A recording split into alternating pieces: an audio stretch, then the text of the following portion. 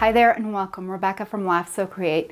It's perfect time to be making an apron either for yourself or as a gift. In today's tutorial, I wanted to share with you how to make a half apron. And if you can't get your hands on a pattern for a half apron, not to worry, I'm going to take you step by step, laying out your pattern pieces, cutting them out, learning what some of the basic symbols are, and by the end of it, you will have made an apron. Now, the one that I made using the pattern is this little green one. I did make some modifications to the pockets. I'll be showing you how I did those, but I'll also show you how to make the one that is in the pattern. But if you can't get your hands on the pattern, I will show you how I made this apron, which is similar. It doesn't have all the curves that the original pattern has, but it has the same feel with a bias binding. And I think it turned out pretty cute. I did add a little loop for towel or for dusting rags or whatever you want to use the apron for. And I did make pockets that were square. I added bias binding as a decorative bit between the apron and the flounce. And I did add bias binding all the way around. I actually made the bias binding that it would match the apron, but you can buy pre-made bias binding and make the whole project a lot quicker. pattern that I'm using is a Butterick pattern. We're gonna be making B6236 and I'm going to be showing you how to make view A, which is the short apron. So let me show you what supplies you'll need for this project.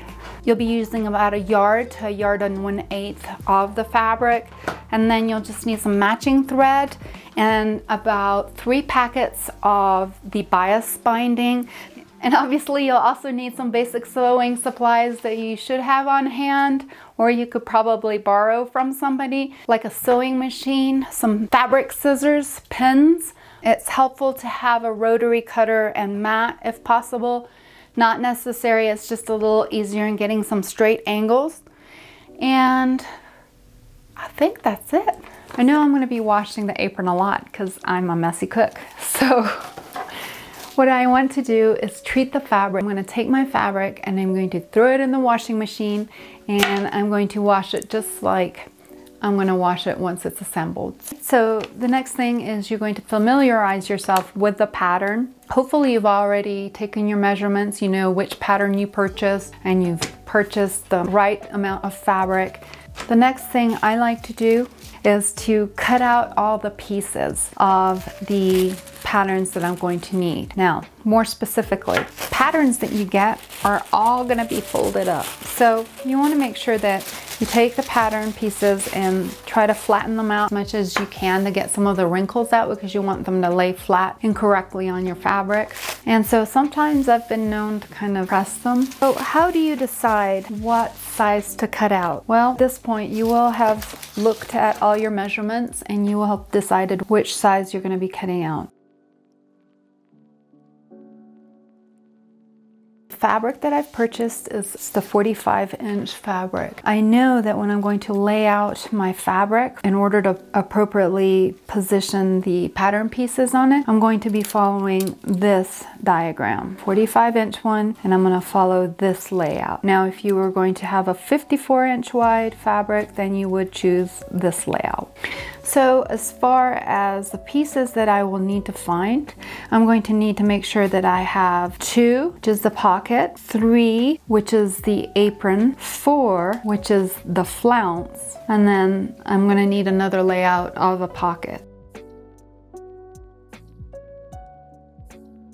On all patterns, you will find the number. If you look under this section, it will tell you exactly the name and you'll see it repeated on the tissue paper on the pattern piece. It will tell you exactly how many to cut. On your pattern pieces, you will also find funny little triangular symbols known as a notch. And it basically tells you that you need to make a small clip when you're cutting out your fabric at this location. You will also find placement lines as to what maybe a placement of a pocket. You will also find this frequent symbol, which is a kind of a line with two-sided arrow tells you that this pattern, when you go to set it down, it needs to be on the fold of the fabric. This has a fold line marking and it also has the grain line, which is also very important for when you're laying out your pattern pieces. And I'll show you what I mean by that. When I look at the pattern pieces, I see that there are various dash lines. The smaller size are all these small little dashes. The medium is a longer dash and the large is a solid line. So for all the pattern pieces, what I've done is I've cut around the large for myself. Now you would cut out the appropriate size for you.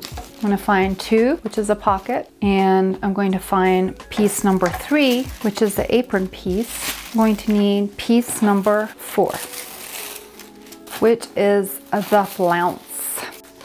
All right, so going back to the directions.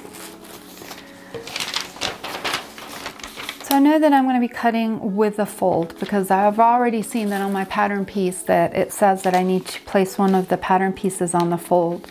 So it tells me in the directions to fold the fabric right sides together. And so the grain line means that you're going to place on straight grain of fabric, keeping lines the line parallel to the selvage or fold. Okay, so what does that mean, the grain line? To understand the proper placement of your pattern pieces, you need to understand what the grain line means. Different fabric has different amount of stretch to it. You want to make sure that you're following the directions on how to place the fabric piece on your fabric in order to make sure that you're not going to get some unwanted twisting in your finished garment.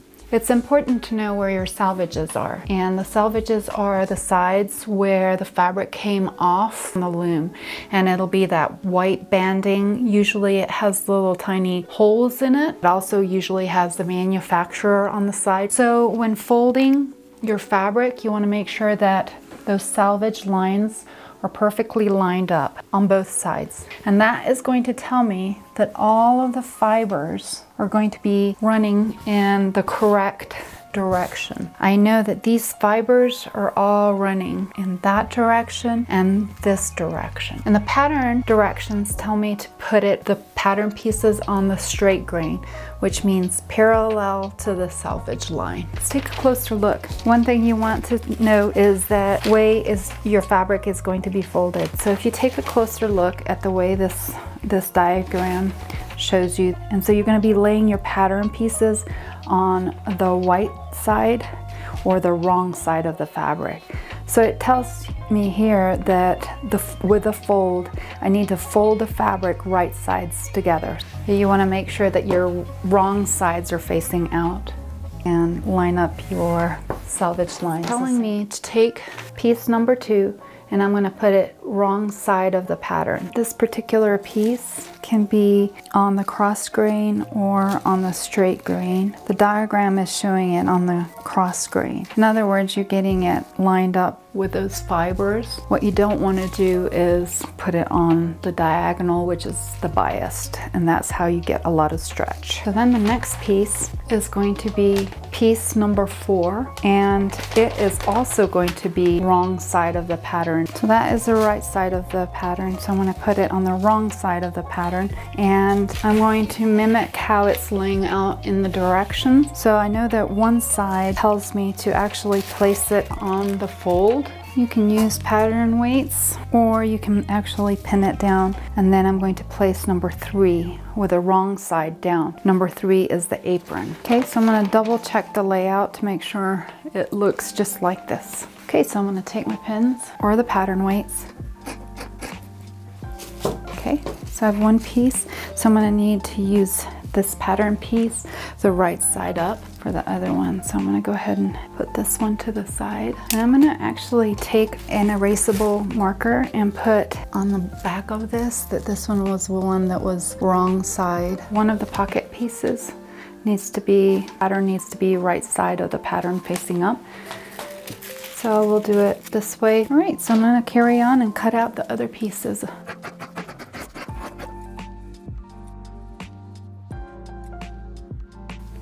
So you'll have four pocket pieces. Take each pocket and you want to have them wrong sides together and pin stitch all the way around at a 5 eighths of an inch using a basting stitch. So that means a four to a six millimeter stitch length all the way around. Next, we're gonna encase the pockets with the bias tape. You wanna make sure that the bias tape overlaps when we come around the other side. So I'm gonna start pinning the bias tape on the pocket. So at the corners, you'll want to miter the corners. And just keep working with it until you get a 45 degree angle that you like.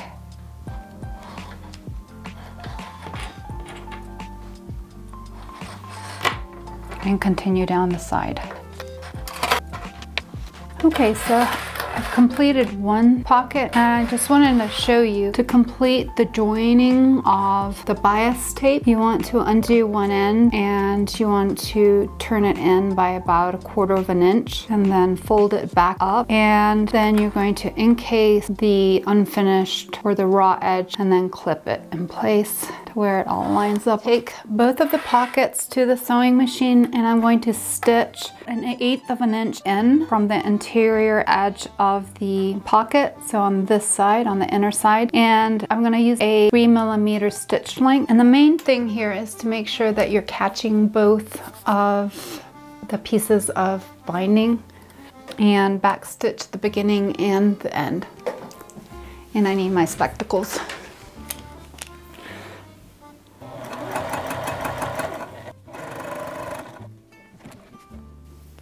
I'm gonna use a stiletto as I get close to the corner. You can easily use a flathead screwdriver or whatever that you have laying around just to help you with that and repeat for the other pocket. Okay, so at this point I'm going to unpick the basting stitches and pull those out. Don't need those anymore. So as you remove the basting stitches, it'll leave little tiny holes and get those holes out. All you have to do is just spray, mist it with water and then press it with an iron and you can kind of use your finger to realign those fibers. Okay, so now that I've punched a few holes in the pocket corners, I'm gonna take a, a pencil and I'm just gonna mark where those spots are.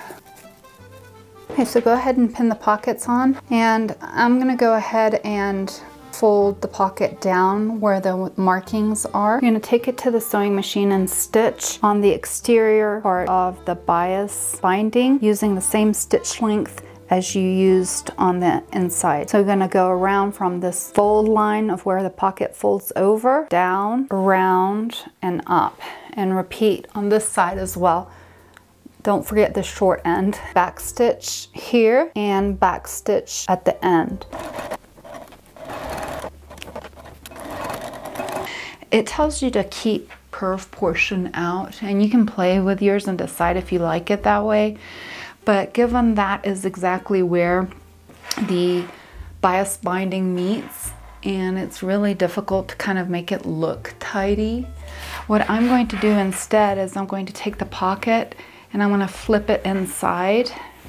That way I have a nice clean diagonal and I'm going to take it to the machine and just top stitch it down. That way it won't flip in and out as I'm putting my hand in and out. Next, grab the flounce stay stitch along the inside of the flounce. Okay, so for stay stitching, you want to make sure that you're stitching inside the 5 eighths. You want to keep your stay stitching at an eighth of an inch. And what stay stitching does is it keeps it from stretching. It kind of helps stabilize it grab your apron with the pockets, fold it in half and find the center point pin the flounce to the apron, matching the notches and matching the center. I'm going to flip it all over, match the center points, pin your notches, and then you can come back and pin between the center and the notches and repeat on the other side all the way down to the edges. Everything's been pinned. Next, I'm gonna take it to the sewing machine and stitch at a 5 8 inch seam allowance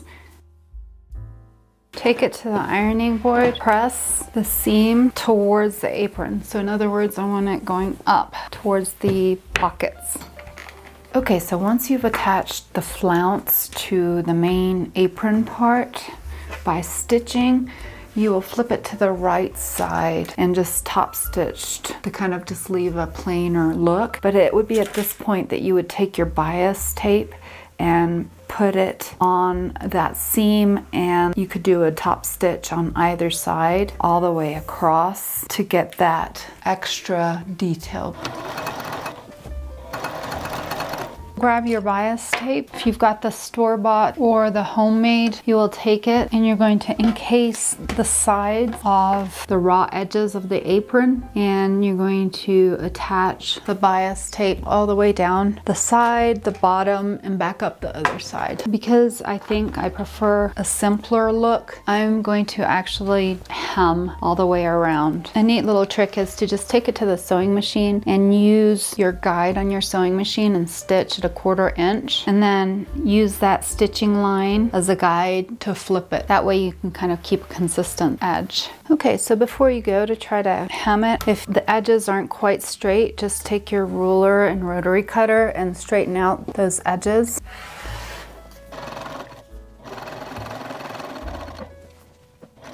Okay, so if you're gonna use the bias tape to make your strap, to go around your waist. You'll want to hold up your apron and wrap it around yourself and see where you want those ties to finish. You're going to open up the end of your bias binding and you're going to turn it over by about half an inch and you can press it and then you're going to turn in your edges like so. You'll just make sure that your raw edges are all encased. That way when you come around to stitch, it'll be a nice finish to the edge of your ties. So it's the same principle if you make your own. So the nice thing about finishing the sides first, all you have to do is just tuck in the raw edge of the corner inside your bias tape and then you'll get a nice finished product.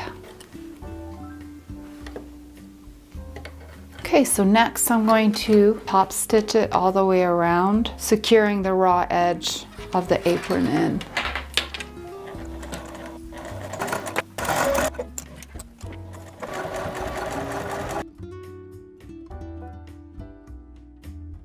Okay, so I just wanted to take a minute and show you that if you don't have the pattern, you can make a template. So for piece number two, which is the pocket, I just made a square, seven and a half inches by seven and a half inches, cut four and it doesn't have to be on the fold. Since this is a double layer, I'll just cut it twice for the apron. Number three, I just made a 14 by 14 inch square. By putting it on the fold, it just gives you a smaller piece that is easier to handle. Cut just one out on the fold, you'll have a piece that is 14 inches by 28 inches long. And that is for the main apron panel for piece number four, which is the flounce. As you can see, the flounce is a curved part, but I just made it into a rectangle just to make it a little bit easier. And the flounce, you just cut one on the fold, 10 inches by 16.5. That way when it's on the fold, you'll get one long rectangular piece that is 10 inches by 33 and cut. So next, mark the center point of your apron as well as your flounce. So you'll be gathering up the flounce so it'll be the same width as the apron.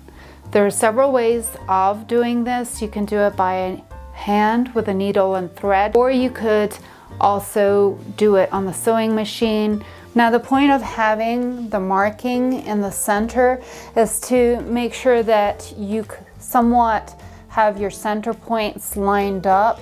And so you'll want to move all these gathers down and evenly distribute it and get it to the point where your edges of the flounce are matching the edges of your apron with the center points lined up. You're, all you're gonna do is flip it over, make sure your center points are pinned together and pin both sides, then stitch all the way across. And then you can remove the basting stitches. So you would take your two pieces and place them right sides together, pin them. You're gonna stitch all the way around the pocket with about a quarter of an inch seam allowance fine back stitching. You want to leave a gap so that you can turn it. Back stitching on this side of the gap as well as the other that way it reinforces it when you turn. Trim the corners turn it right side out and push out your corners. Just press it at your turning gap. You're turning the edges in and pressing. Okay so then you would take your pocket that you just made and you would want the turning gap placed at the bottom. That way when you go to stitch it onto the apron and you'll stitch across, you'll catch that turning gap and you come up and stitch all the way to the top, leaving the top part open as your pocket and back stitching at both sides. That way it'll reinforce it. I'm gonna cover three things. One, I'm gonna show you how exactly to make this apron. Two, I'm gonna give you some modifications. And three, oh, I had the three points in my head. Do you think I can remember? Oh my gosh, darn it. Well, maybe there are just two points.